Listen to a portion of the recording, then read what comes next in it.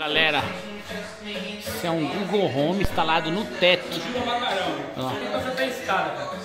Fala com ele, é o Google Home, um acessório, um assistente de voz, né? No teto.